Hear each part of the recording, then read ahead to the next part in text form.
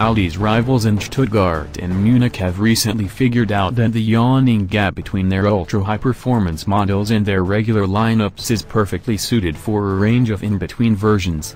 And so Mercedes launched its AMG 43 models, while BMW created a range of M-performance vehicles.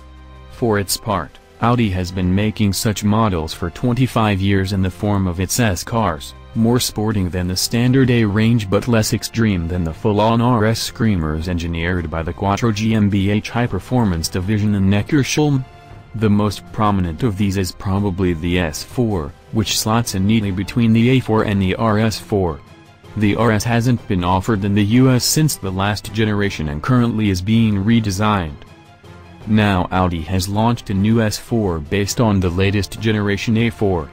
As with the new A4, this car represents a significant step forward in many respects, even if it's not recognizable as an all-new vehicle at first glance. New engine, new transmission.